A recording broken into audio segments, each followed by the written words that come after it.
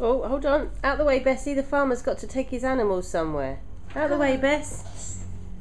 He's going to jump on his tractor. And he's going to take them for a little ride, isn't he, Alice? Goes back.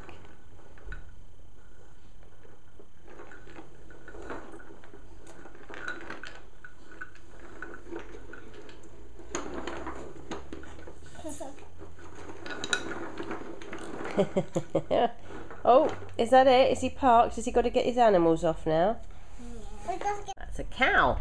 That's a cow. What noise does the cow make?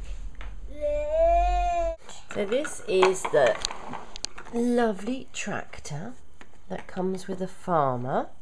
Okay, that's part of the John Crane farm that you can buy separately. Uh, the animals are also separate. Um, Alice is driving the tractor. Well, the farmer's driving the tractor, and he's taking all of his animals back to the farm.